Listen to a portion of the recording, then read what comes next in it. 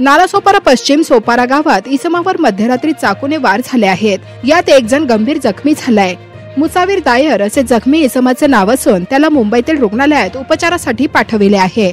मस्जिदच्या ट्रस्टवर कोणी राहायचे यावरून झालेल्या वादातून हा चाकूने हल्ला झाला असल्याची प्राथमिक माहिती समोर आली आहे. याबाबत गैरकायद्याची मंडळी जमवून प्राणघातक हल्ला केल्याप्रकरणी पाच जणांवर नालासोपारा पोलीस ठाण्यात मध्यरात्री गुन्हा दाखल करून तीन जणांना पोलिसांनी ताब्यात घेतले आहे.